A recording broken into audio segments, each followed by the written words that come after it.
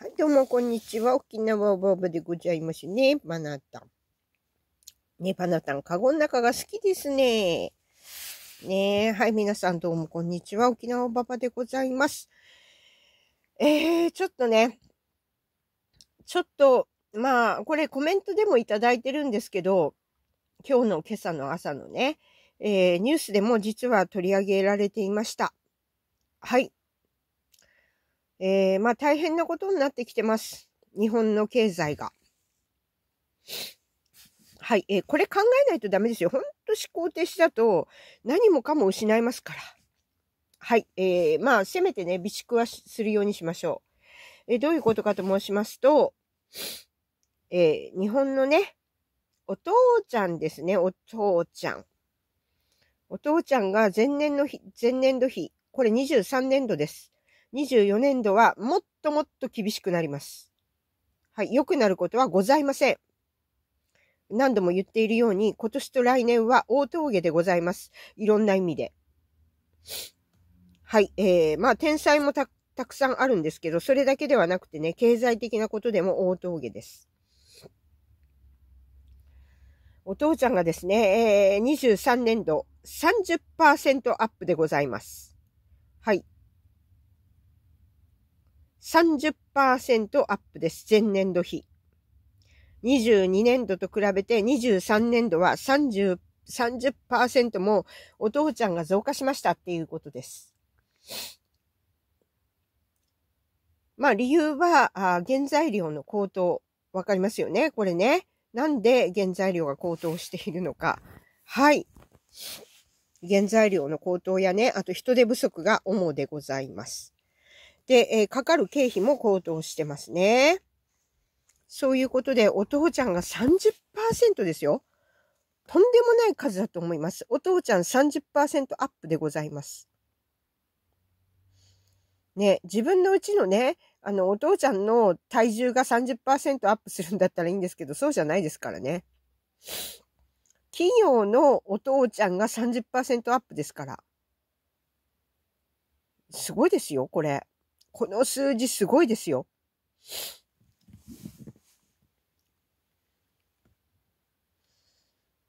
はい。この数字はとんでもない数字でございます。お分かりになりますよね、皆さんね。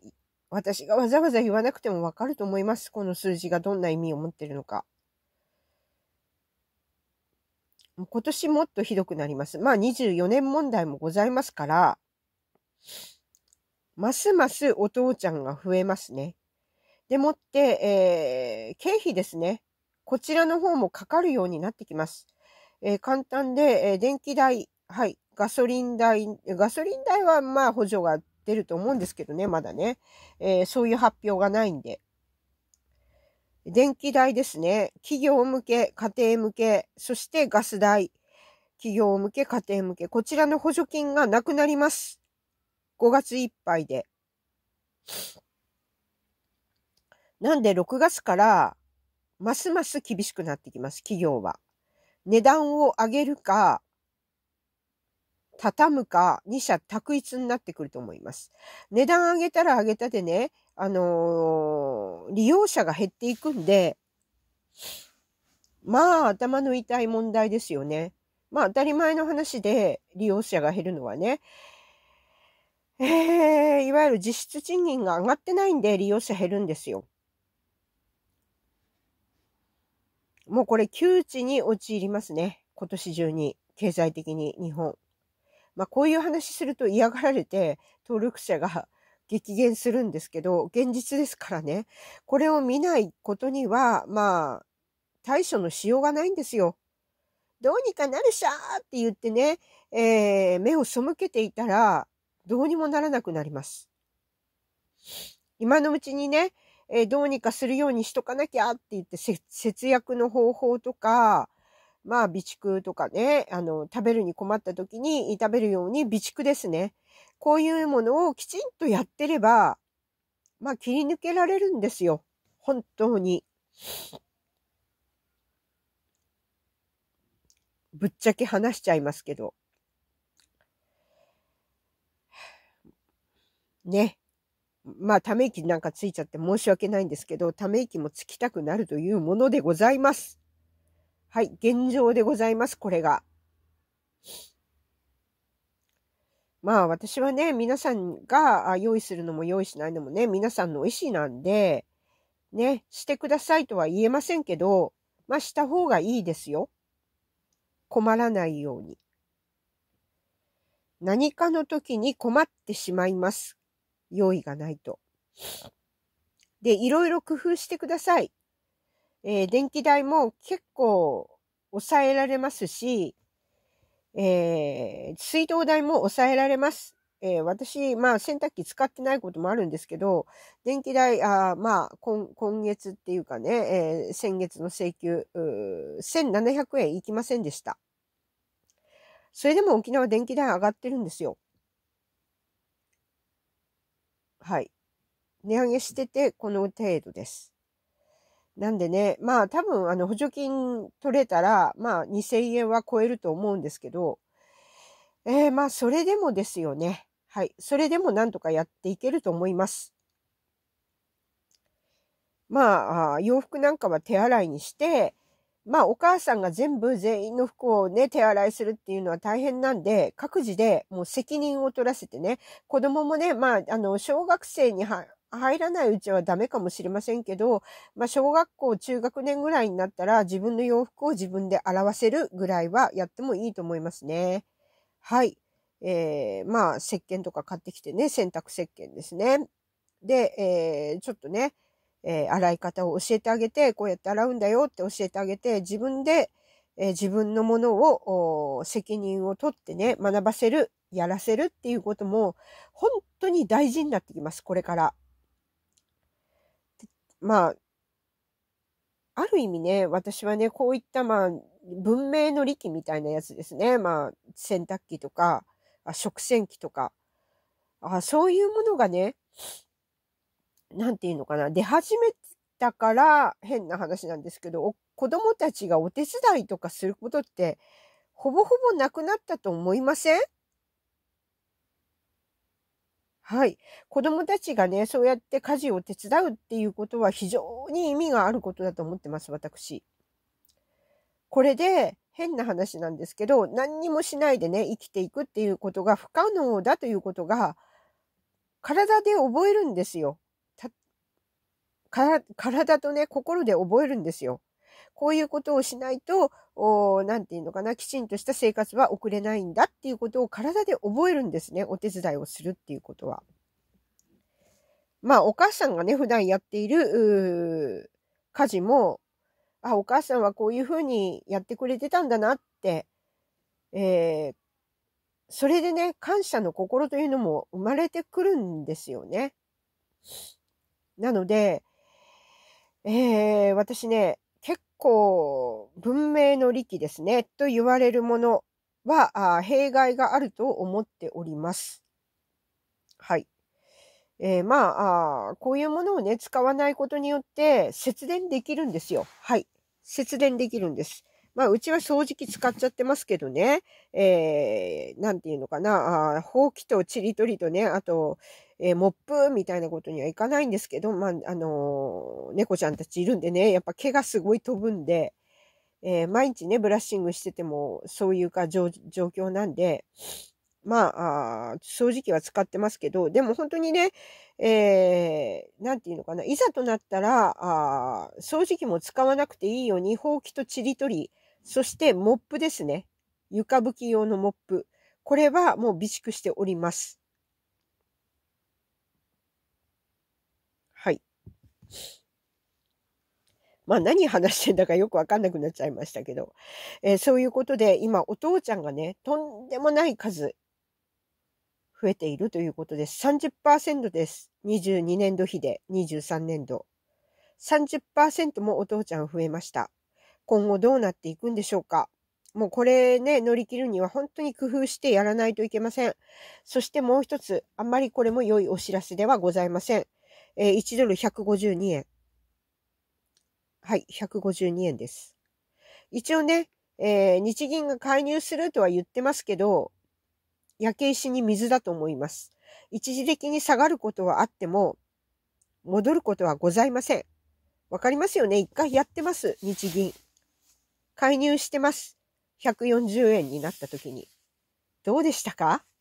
はい。焼け石に水だったでしょ？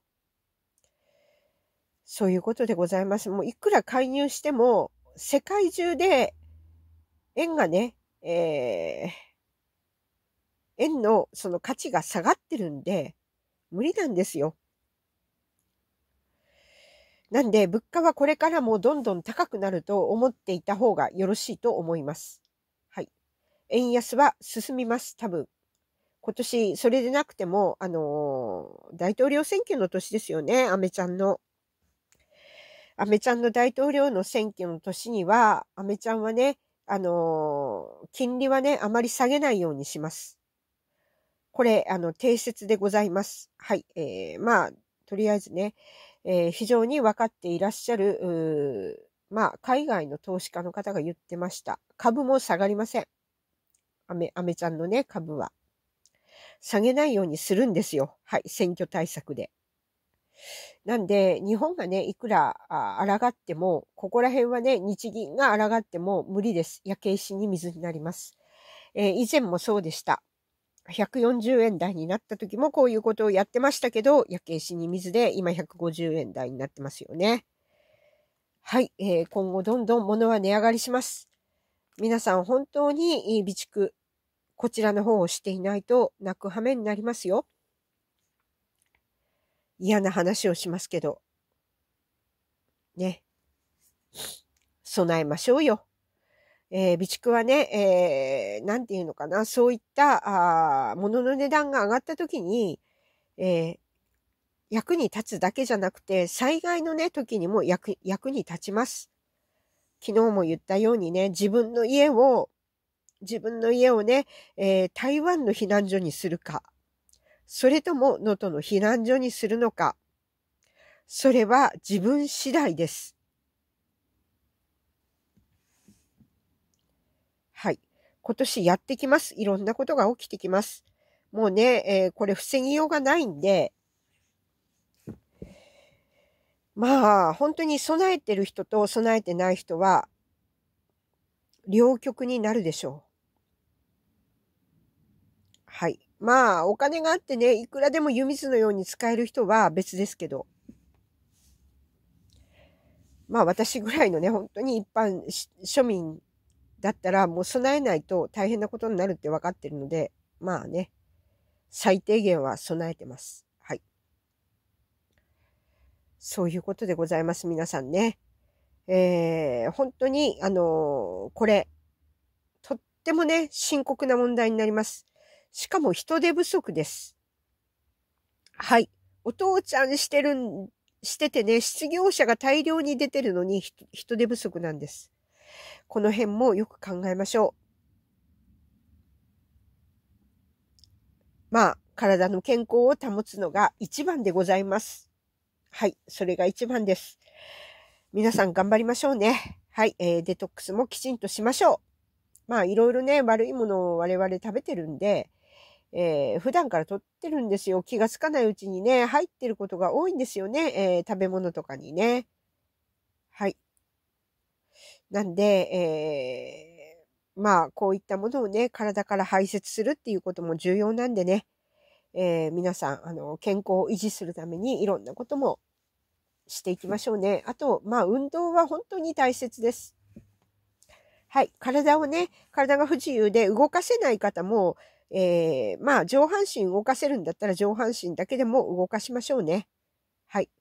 えー、こういう日々の努力が、あ我々のね、日常を変えていきます。我々の健康、我々の命を変えていきます。そういうことでございます。皆さん一歩一歩頑張りましょう。よろしくお願いします。こちらの記事もね、えー、貼っておきますので、皆さん見に行ってください。よろしくお願いいたします。えー、とんでもない時代がやってきております。えー、よく認識してください。それでは皆さんまたごきげんよう。沖縄おばばでした。はい。はい、パネタお顔は？はい、お顔ですね。はい。あ、お手っても可愛いですね。ねえ。はい。